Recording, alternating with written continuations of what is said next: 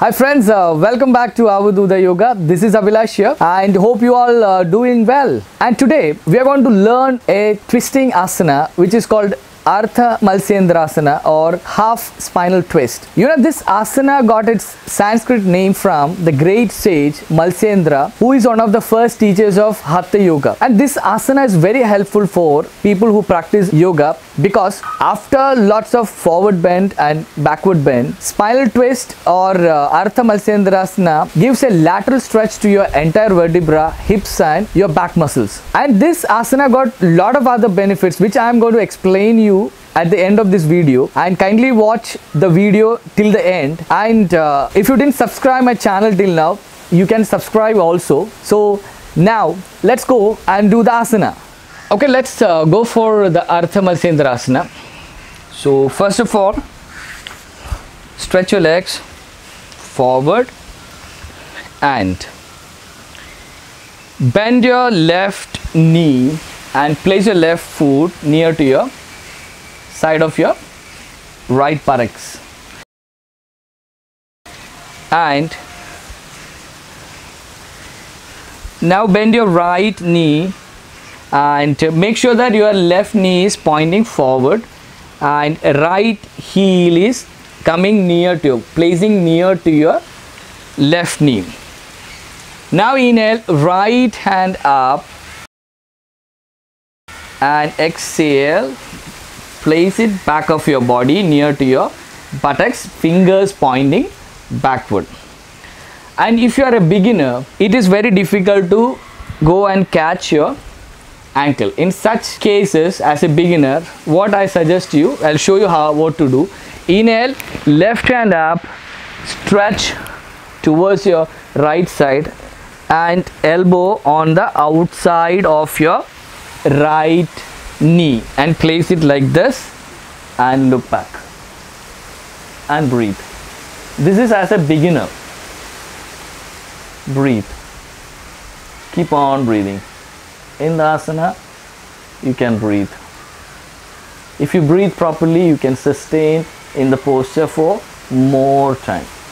And and if you are flexible and you are are intermediate practitioner or you are doing yoga for quite some time they will be able to catch the ankle so for them stretch hands upward left hand upward and stretch towards your right and catch your right ankle again inhale exhale turn look over your right shoulder and breathe.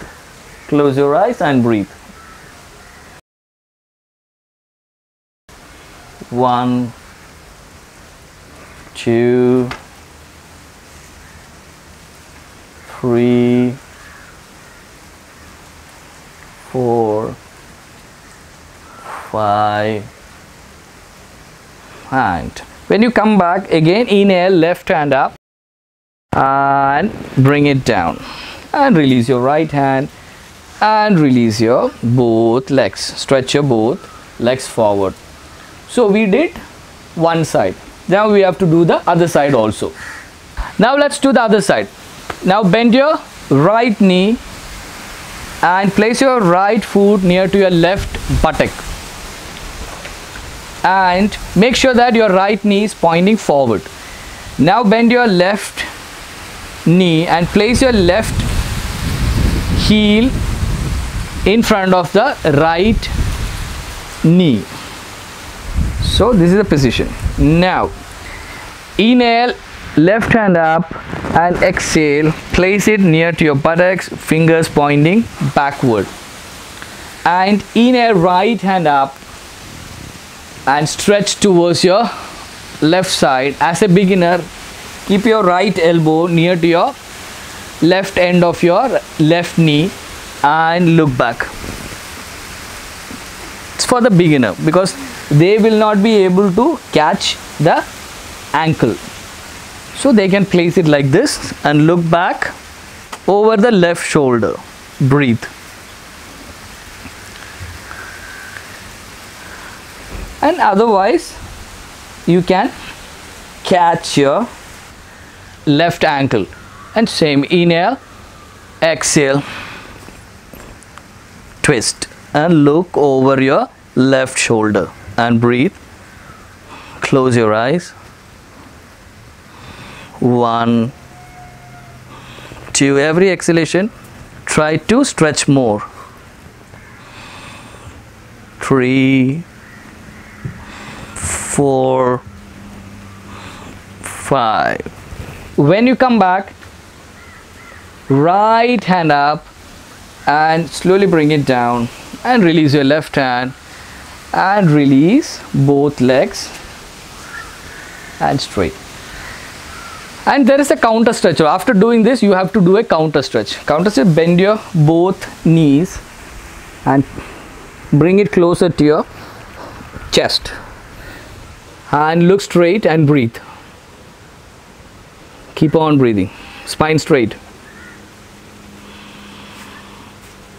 Then you can bring your chin or your forehead. If chin is not possible for beginners it is impossible. Sometimes it will be a little challenging for them. So for them they can bring their forehead down towards the knees. And breathe. Keep on breathing. You will get a very good stretch on your entire back. Keep on breathing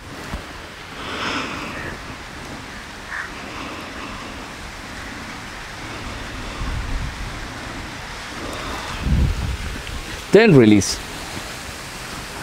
so that's how uh, you do uh, Ardha Matsyendrasana or spinal twist. Now let's uh, talk about the benefits of uh, spinal twist or Ardha Matsyendrasana.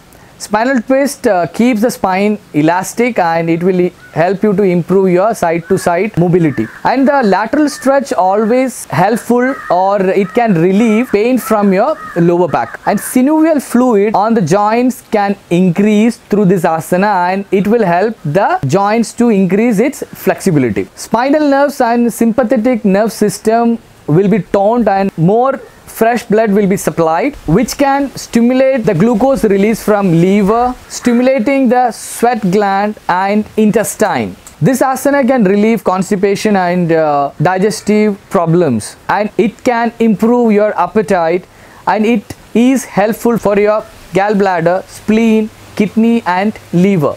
So these are the benefits you can avail when you practice this asana on a regular basis.